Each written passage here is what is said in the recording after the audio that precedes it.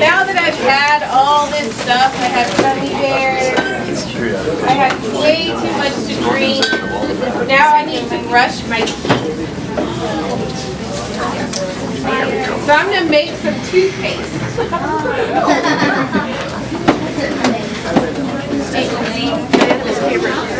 And for this toothpaste, I need some soap.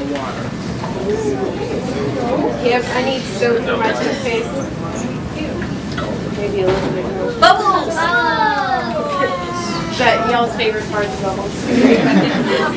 It gets better. Here's my here's my secret ingredient. What is it? This is peroxide, right? Some of y'all know there's peroxide in your toothpaste. Now I'm gonna stripe my toothpaste, green stripes.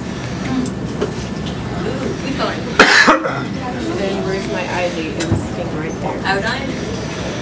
Iodine. I had it iodine. No, uh, I had sitting like right there.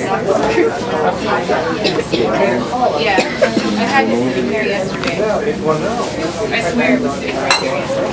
Okay, so here's my toothpaste. Is anything happening to this toothpaste? Does it look toothpaste? No, happening to my toothpaste. What can I do to a reaction? Does anybody know? To make it go faster? Fire! Fire, okay. Yeah! If I wanted to make my reaction go faster, what could I add to it? Any ideas? Heat. Heat. Heat, okay, that's a good one. Anything else? You guys are getting confused by me holding. Okay, anything else? Fuel, okay. Anything it makes the reaction go faster that you can think of? Magic. Magic?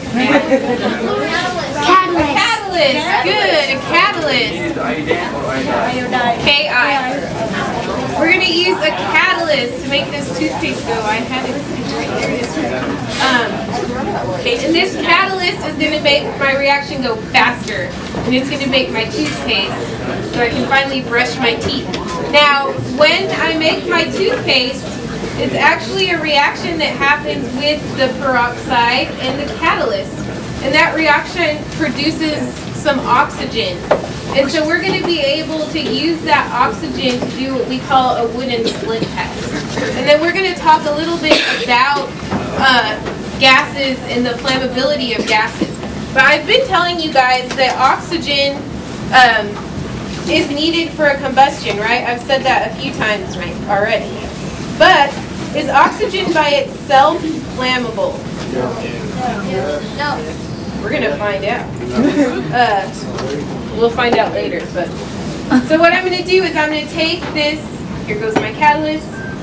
I'm gonna test for oxygen with uh, this wooden splint.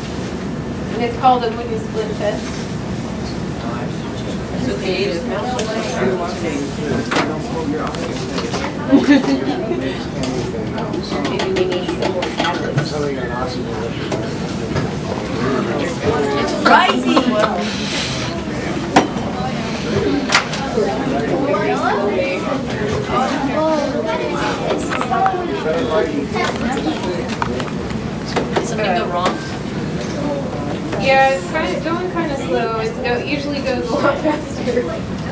So many malfunctions. I know. That's the price you pay for live demos. you never know what's going to happen, even though you've done it a million times. Amen.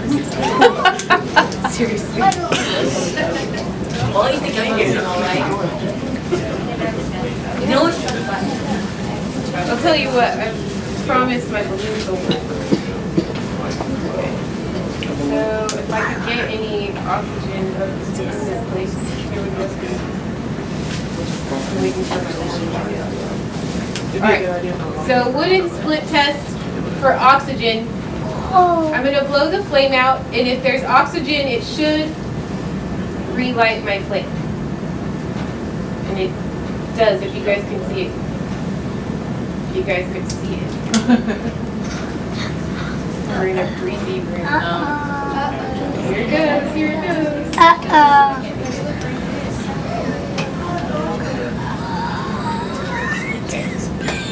Yeah. Yeah, magic. Now, did it? Ex- did this whole thing explode?